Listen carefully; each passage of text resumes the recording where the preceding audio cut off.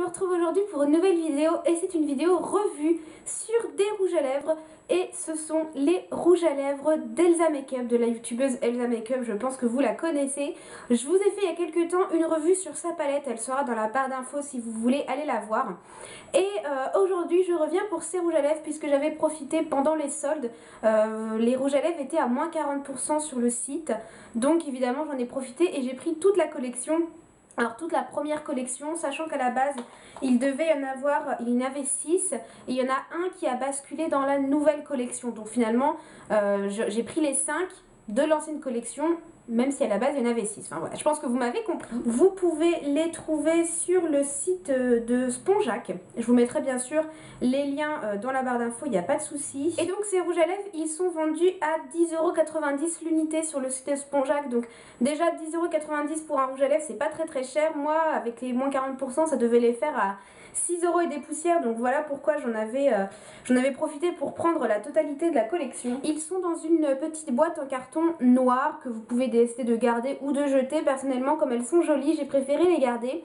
Avec la mention Elsa Makeup matte, matte lipstick, donc rouge à lèvres mat écrit en rose gold, qui est quand même un petit peu euh, sa couleur signature. Et sur chacun des rouges à lèvres, on a la petite pastille colorée avec le nom du rouge à lèvres que personnellement je trouve ça, euh, je trouve ça super. Tous les rouges à lèvres devraient faire ça parce que c'est tellement pratique une fois rangé pour les retrouver. C'est quand, même, quand même super pratique plus que d'avoir tout le temps à ouvrir le tube, euh, sortir le raisin pour voir. Je trouve que le carton est un peu dur à ouvrir. J'ai un peu galéré pour certains, je suis obligée de, les, de presque abîmer le carton en fait pour ouvrir ce que j'ai trouvé assez dur. Mais bon ça c'est un détail. Et euh, petit détail aussi tout choupinou, une fois qu'on ouvre, on a euh, les deux petits cœurs ici quand on ouvre les languettes. Donc j'ai trouvé ça plutôt mignon. Et euh, voilà, on ouvre le rouge à lèvres et on a aussi la mention sur le sommet du rouge à lèvres. Au niveau du packaging, ils sont juste magnifiques. Ils sont noirs, principalement noirs avec la mention Elsa Makeup en rose gold. On a donc le nom qui est euh, à l'arrière. Et vous avez toute cette partie là qui est complètement rose gold. Donc ils sont vraiment très chics, ils sont magnifiques. Et une fois qu'on ouvre on retrouve toute cette partie là qui contient le raisin également en rose gold. Et petit détail qui n'est pas négligeable c'est aimanté. Donc ça c'est génial. Donc je pense que vous avez pu apercevoir sur mon bras que j'ai déjà euh, j'ai déjà fait les swatchs, déjà d'une part ça va être un gain de temps et aussi parce que juste avant de tourner la vidéo j'ai fait les photos pour mon blog. J'ai fait un article sur le blog ces derniers temps, j'en fais très très peu euh, mais euh, voilà je, privilégie ma chaîne et c'est vrai que le blog j'ai laissé un peu à l'abandon mais là pour le coup j'ai fait des photos pour le blog et euh, voilà j'ai déjà réalisé les swatchs donc j'ai pas besoin de les refaire, ils sont déjà prêts. Le premier c'est le nude tout simplement comme son nom l'indique, vous verrez que les noms sont, sont c'est pas des noms comme les, les Mac ou je ne sais quoi qui ont des noms euh, où on se demande euh, quel rapport ça a avec le rouge à lèvres. Là, c'est vraiment des noms qui décrivent parfaitement la couleur. Donc, c'est un nude qui est euh, plus beige parce qu'il y a des nudes qui peuvent être rosés, etc. Là, on est vraiment dans un beige, dans un beige, j'ai du mal à parler, c'est horrible. On est vraiment dans un beige très très clair. Ils n'ont absolument aucune odeur, mais rien de rien. Donc, le voici au niveau du swatch, il est juste ici. Donc, comme vous pouvez voir au niveau de, la, de, la, pigmentation, c'est bien opaque. Vraiment, j'ai pas eu du tout de mal à, l'appliquer. Pour être honnête, c'est la première fois que je les teste. Hein. Je voulais les garder euh, tout neufs, euh, bien bien beaux pour euh, prendre les photos de mon blog. Et du coup, c'est la toute première fois que je les ai appliqués. Donc, c'est une espèce de premier impression en même temps que, que revue. C'est revue crash test première impression, c'est un peu tout en même temps.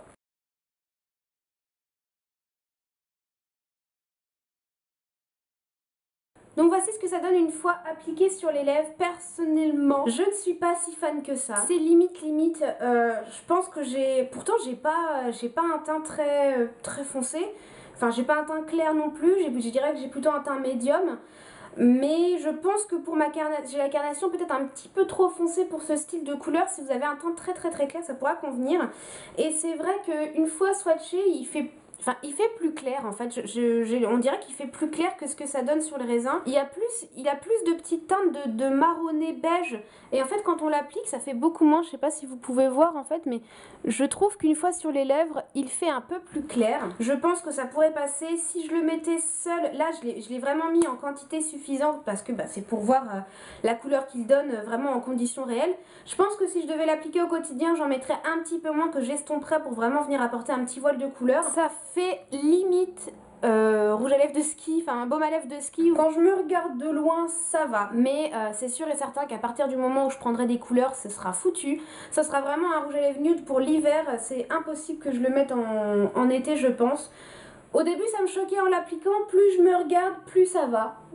Plus ça va. Je, pense vraiment que, ça passe. Il fait ressortir un petit peu les, les ridules au niveau de mes lèvres, mais c'est parce que c'est une couleur qui n'est pas... Euh, qui n'est pas méga opaque puisque c'est un nude évidemment. Bon, finalement, à force de, me regarder, je trouve que ça passe. Je sais pas ce que vous en pensez. Après, c'est tout un fin rouge à lèvres qui peut être super joli euh, à appliquer au centre des lèvres pour un effet un petit peu euh, repulpé ou pour faire comme un ombre ellipse, vous savez, quand vous avez le milieu des lèvres un peu plus clair. Ils sont très confortables. Ils ont beau avoir un effet mat, ils sont pas du tout desséchants, ils sont pas du tout durs à appliquer. Vraiment, ils glissent tout seuls. Je sais pas si vous pouvez voir, mais je trouve que sur... Alors, c'est peut-être euh, la couleur de mes lèvres en dessous, hein, qui a fait que ça a changé un petit peu. Mais on dirait pas le même en fait. Là, il fait vraiment beige, beige limite un peu marronné, limite un tout petit peu orangé. Et là, on dirait vraiment un nude rosé. Je, trouve que le, swatch ne correspond pas vraiment à ce qu'il donne sur les lèvres. Ensuite, le deuxième, c'est le Peach Me. Donc, bien sûr, vous l'aurez compris, c'est un pêche un pêche orangé avec la petite mention Peach Me au beau. Donc le voici, on est vraiment dans un, dans un orangé. En règle générale, je trouve que les couleurs pêche ont un tout petit peu plus de pointes rosées à l'intérieur. Donc évidemment, c'est le deuxième qui est juste ici. Vous voyez, pareil, une couleur vraiment bien vibrante, bien opaque. Il est vraiment très très joli celui-ci. Donc ça, c'est pour le swatch.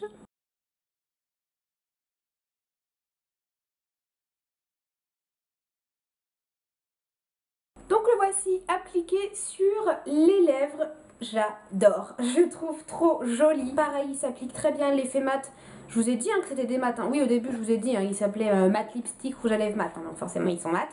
L'effet mat, le fini mat, c'est le fait que c'est le fini que je préfère en fait. C'est ce que je trouve vraiment le plus joli. Et une fois appliqué sur les lèvres, pareil, il fait beaucoup moins orangé. C'est marrant parce que je trouve qu'il y a une différence entre, les swatchs et ce qu'ils donnent sur les lèvres. Après, je sais bien que euh, la couleur de la peau n'est pas la, la, même couleur que ce qu'on a sur les lèvres et que bah, évidemment ça vient un petit peu euh, différencier les couleurs, mais encore une fois, le côté pêche s'en ressort plus sur les lèvres. Il a plus de côté rosé, en fait, je le préfère sur les lèvres cette fois-ci que sur euh, la peau. Il marque peut-être un petit peu les ridules des lèvres. Alors ça, pour ce côté-là, si je ne m'abuse, et n'hésitez pas à me dire dans les commentaires si je me trompe, mais il me semble que la nouvelle collection que, euh, que Elsa a, lancée, la formulation a été changée parce que justement, il y avait des petits soucis au niveau de la formulation, donc Peut-être que justement tout a, tout a été rechangé et que ce ne sera plus le cas dans la nouvelle collection. Je le trouve vraiment très joli, euh, j'aime bien par rapport, à, par rapport à ma carnation, je trouve que, que ça va. la fille qui se lance des fleurs, je trouve que ça me va bien. voilà, donc je trouve vraiment très très joli, c'est un joli petit, euh, petit corail pêche euh, orangé qui est vraiment très très beau, qui sera très sympa pour l'été, qui peut convenir à beaucoup de carnations je trouve. Et vraiment ils sont très confortables, c'est ça qui m'étonne parce que pour des rouges à lèvres mat, limite je les sens pas, limite j'ai l'impression de pas avoir de, matière sur les lèvres. Même constat que tout à l'heure, euh, vous voyez le swatch ici est beaucoup plus orange. Ici j'ai beaucoup plus de teinte rose. Je pense que vous, que vous pouvez vous en apercevoir la deuxième ici et sur les swatchs ne sont quand même pas pareil. On a vraiment l'impression que ça va être très très orangé alors qu'une fois appliqué c'est quand même beaucoup plus rosé. Le suivant c'est le Fuchsia Fever et là attention les yeux, on arrive dans les couleurs plus euh, flashy. Donc je ne vais pas vous faire un dessin, c'est une couleur fuchsia. Donc voilà la euh, petite pastille. Là, euh, on se rend compte que ça va être un fuchsia de chez Fuchsia. Il est très très très très beau. Et au niveau de, du swatch, encore une fois, c'est chiant comme tout. Pourquoi j'ai fait des swatchs sur les bras? Je vous le demande. C'est celui-ci, c'est le troisième. Vous voyez qu'au niveau de la couleur, c'est wow, c'est pétant comme il faut.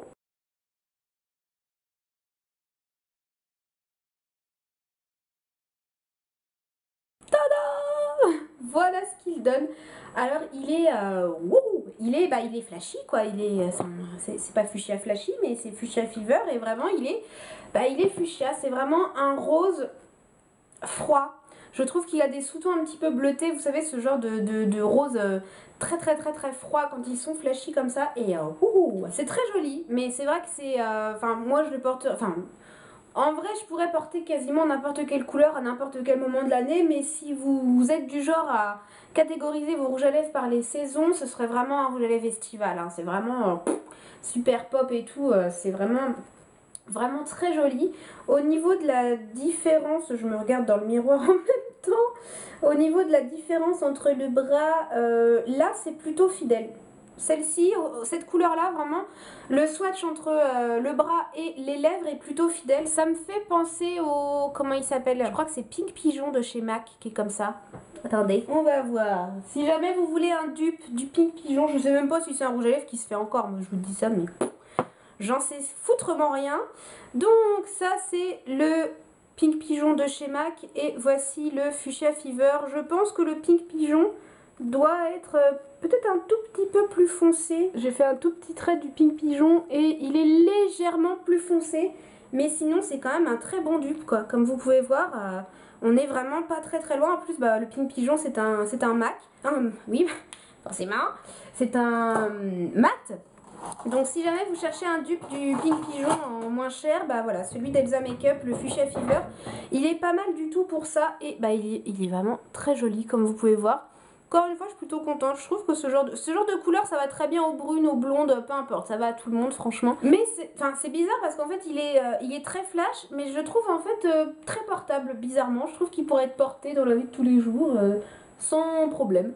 Il est bien opaque et il marque pas tant que ça les ridules des lèvres, je trouve. Et voilà, je vous montre, comme vous pouvez voir, le swatch de la peau est fidèle au swatch des lèvres. Je sais pas ce que vous en pensez. Tête est un peu plus bleutée sur les lèvres que sur la main. Mais voilà, un petit peu c'est qui le donne. Je le trouve magnifique. Il est vraiment trop trop beau. Ensuite, l'avant-dernier, c'est le Stilettos Red. Il fallait bien un rouge dans la collection et c'est celui-ci. Donc pareil que les autres, hein, on a la petite pastille au bout du rouge à lèvres. Et voici comment il se présente. Donc c'est un rouge assez foncé quand même. C'est pas, pas un rouge bleuté, un rouge très carmin. C'est un rouge plutôt foncé. Nina ah, Putain, qu'est-ce que c'est chiant sur le bras. Donc voilà, c'est l'avant-dernier. C'est celui qui est juste ici. Il fait légèrement, légèrement plus clair sur la peau que sur le raisin.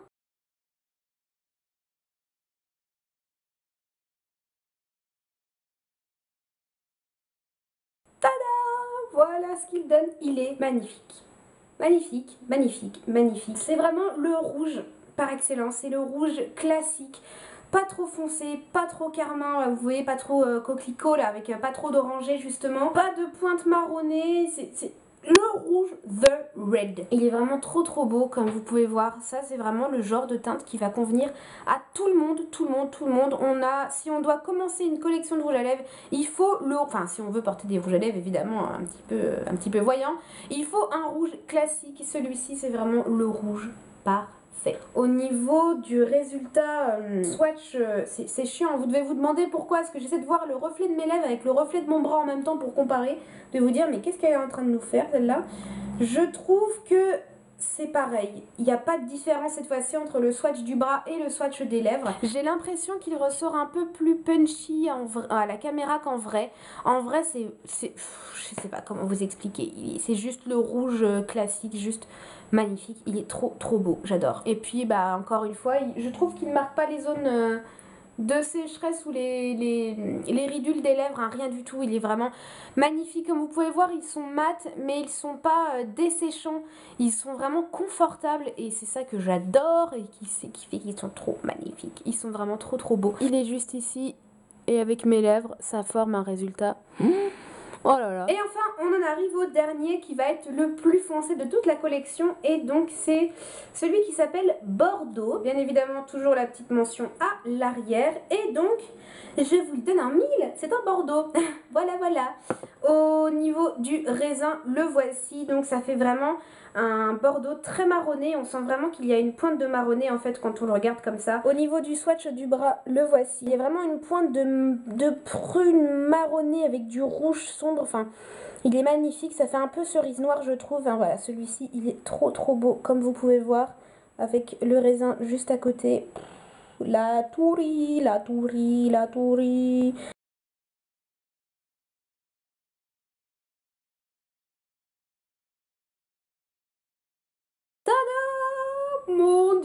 Mon Dieu, mon Dieu. Mais il est magnifique, vraiment, il est trop beau.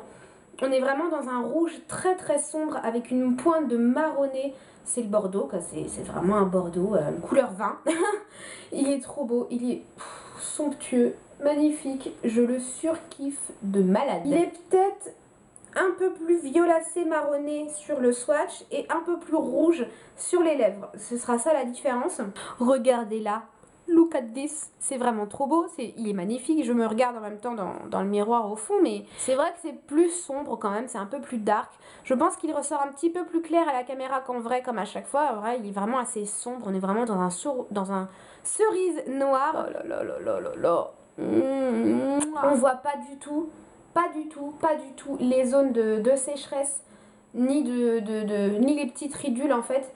ils ont un effet en fait je trouve que le rouge et celui-ci ont un effet légèrement brillant. On dirait un fini satin en fait. On dirait que ce sont des, semi-mat, des satinés par rapport à ceux d'avant qui étaient beaucoup plus mat. Je trouve que les deux derniers ont un léger petit reflet. Je ne sais pas si vous pourrez bien le voir, mais je trouve qu'ils font légèrement satiné semi-mat. Ce n'est que mon avis, ce qui n'est pas plus mal parce que je trouve que c'est très très joli également. Et mon dieu que c'est beau, que c'est beau, que c'est beau. C'est, ils sont, il est magnifique celui-ci. Voilà, au niveau de la différence euh, swatch bras, swatch lèvres. Comme vous pouvez voir ici, il fait plus foncé, plus marronné, même un peu violacé. Alors que sur les lèvres, il fait beaucoup plus rouge en fait. plus clair, plus rouge une fois swatché sur les lèvres, je trouve. Donc c'est quand même un, un, paramètre à prendre en compte. Si, si, les rouges à lèvres vous intéressent, ne pas vous fier justement que au swatch euh, peau, mais aussi au swatch lèvres. Comme ça, moi, voilà, vous aurez les deux. Je pense que le dernier, c'est définitivement mon préféré. Je le trouve magnifique, voir les deux derniers, mais celui-ci c'est vraiment mon préféré de toute la collection, il est vraiment magnifique. Je regrette de pas de pas avoir eu le lace en fait puisqu'à la base je trouve que c'est vraiment la seule couleur qui manque mais qui à la base faisait partie de la collection. Le lace, je crois que c'est comme ça qu'il s'appelle hein, si je me trompe pas. C'était un, un, rose en fait, c'était un peu si je me souviens bien c'était un style bois de rose, euh, vieux rose, enfin vraiment c'est la couleur qui manque parce qu'on a un beige, enfin on a un nude beige, un, un corail pêche, un fuchsia très, très vibrant, un rouge très vibrant, un bordeaux et un petit rose. En fait c'est vraiment celui qui manquait. Mais à la base il faisait partie de cette première collection qui a été ensuite euh, mis dans la collection suivante. Donc c'est vrai que c'est dommage, c'est le seul euh, le seul que j'ai pas. Mais bon je pense que je le prendrai un de ces quatre dans la nouvelle collection. Peut-être que j'attendrai les soldes. Donc voilà mon avis concernant la collection de rouge à lèvres d'Elsa Makeup, donc, la première, hein, celle-ci comme je vous ai dit, c'est les matte lipstick. J'ai un avis plus que positif sur ces rouges à lèvres puisqu'ils sont vraiment top. Le prix, comme je vous ai dit, 10,90€, ça les vaut largement. Ça, quand on sait que, pour prendre un exemple, les MAC valent 18 ou 19, parfois même 20 euros, euh, là vous en avez à moitié moins cher et je suis sûre qu'au niveau de la qualité, c'est tout aussi bien. Euh, au niveau de la tenue, j'en sais rien. Comme je vous ai dit, euh, je, ce que je ferai, c'est que de toute façon, je vais les porter tout au long de la journée et puis je vais vous mettre une petite annotation pour vous dire exactement si à la fin de la journée, comment ils ont évolué, machin. Mais je pense vraiment que comme ils sont mat, ils vont avoir une très bonne tenue, ils sont juste magnifiques. Le rapport qualité-prix est top. Au niveau du packaging, c'est très soigné, ça fait pas cheap du tout. Les couleurs sont, sont, variées les unes aux autres, tout de bien, donc finalement je vous recommande vraiment vraiment vraiment ces rouges à lèvres. Si jamais vous les avez, n'hésitez pas à me dire ce que vous en pensez dans la barre d'infos. N'hésitez pas à me dire un petit peu ce que vous avez pensé de cette vidéo, si peut-être vous allez craquer à la suite de cette vidéo. Moi en tout cas je suis très contente et je regrette pas du tout mes achats. J'espère vraiment que cette vidéo vous a plu. Prochainement je vous ferai la vidéo sur les pinceaux d'Elsa Makeup, la palette, les rouges à lèvres, les pinceaux, vous aurez toute la collection en vidéo. Donc voilà, n'hésitez pas à aller checker un petit peu la barre d'infos vous aurez tout ce dont vous avez besoin. Je vous fais des gros bisous et puis je vous dis à très très bientôt pour la prochaine vidéo. Ciao ciao